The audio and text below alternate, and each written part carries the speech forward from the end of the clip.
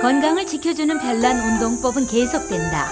겉보기에 동작은 간단해 보이지만 표정은 꽤나 힘들어 보이는데 이건 모세 혈관 촉진 운동이라고 보통 모관 운동이라고 해요. 모세 혈관을 활성화시켜서 심장에서 펌프질을 해서 피가 돌때 음, 심장과 여러 기관을 도와주는 거지요.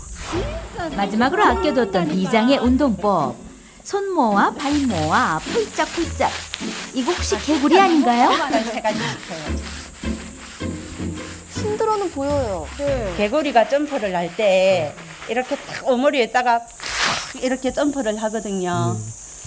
예, 여기서 착안해서 있는 개구리 운동이라고 합니다.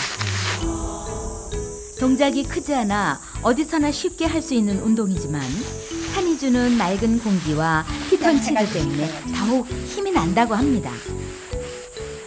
이 운동이 별거 아닌 것처럼 보여도 예, 척추 정리도 되고요. 그다음에 예, 혈행 운동을 활성화해서 피 돌림이 아주 좋고요.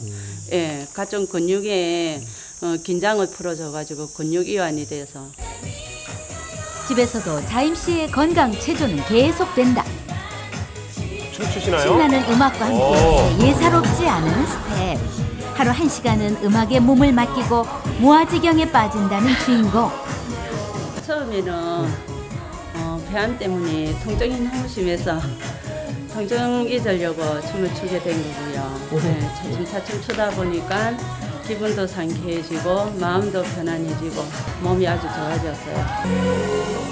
처음엔 그저 단순히 리듬에 맞춰 손발을 흔드는 정도였지만 춤을 추는 동안에는 통증이 줄어든다는 사실을 발견했다고 하는데요. 그렇게 시작된 막춤은 매일 빼놓을 수 없는 하루 일과가 되어 그녀와 함께했습니다. 두 번째 건강 비법은 자연에서 찾은 보물. 이번에는 초록 빛깔이 가득한 비밀 장소로 안내하는 주인공. 어머니 잠깐만요. 예. 어머니 여기 무슨 일로 오셨어요? 아 여기 내 생명의 연인들을 캐러 왔어요. 생명의 은인들이요? 예. 내 폐암을 극복하게 해준 생명의 연인들이요. 소중한 생명의 은인들 행여 잎사귀 하나라도 다칠까 조심조심 따서 모으는데 이건 뭐인데요. 경상도에서는 머구라고 해요.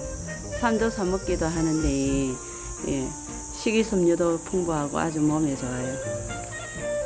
암 때문에 식물 박사가 다 된 자임 씨.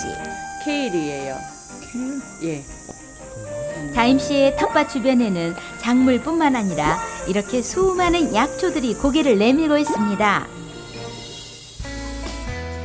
이런 산야초에는 각종 풍부한 영양소와 항산화 물질이 들어있다는 사실. 이게 자연에서 주는 건강식이기 때문에 뽑아버리지 않고 잘 키워서 잘 먹고 있습니다.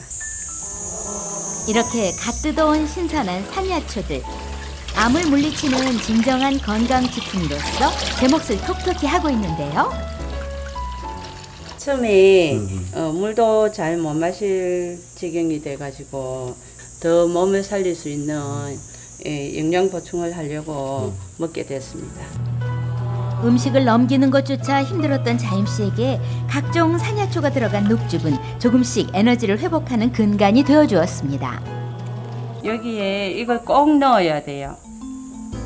뭐예요? 마지막으로 들어가는 정체불명의 가루 뭔가요? 조겸이에요. 죽염이요? 예. 죽염을 왜 넣어? 조겸을 넣으면 소화 녹즙이 소화 흡수도 잘 되고요. 음. 효과가 더 좋아요. 주겸까지 한 몸으로 합치하고 나면 영양 듬뿍 건강의 활력소가 되어주는 산야초 녹즙 완성. 하루에 세 잔씩 이렇게 2년 동안 먹으면 당연히 건강해지죠. 마지막 비법은 철저한 식단 관리. 이거 한번 보세요. 거실 한가운데 자랑스럽게 붙여놓은 이것 사시사철 늘 지켜온 자임 씨의 건강 시간표입니다. 암은 재발이나 전이되는 게 가장 위험한데 그걸 방지하기 위해서 이렇게 꾸준하게 스케줄을 짜가지고 관리하고 있습니다. 하루 스케줄에서 가장 중요한 부분 자임 씨의 항암 식단을 공개할 차례. 썰고 또 썰고 경쾌한 도마 소리가 끊이질 않는데 대체 무슨 요리 하시나요? 계절에 따라